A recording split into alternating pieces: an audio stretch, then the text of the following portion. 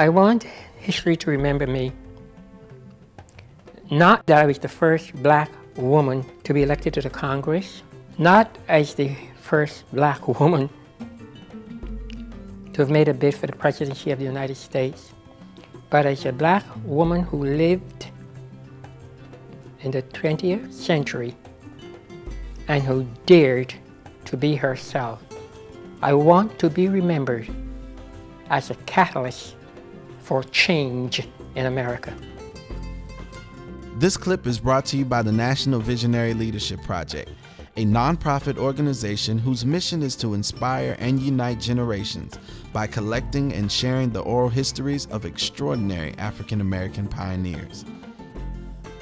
To see more oral history videos, log on to www.visionaryproject.org.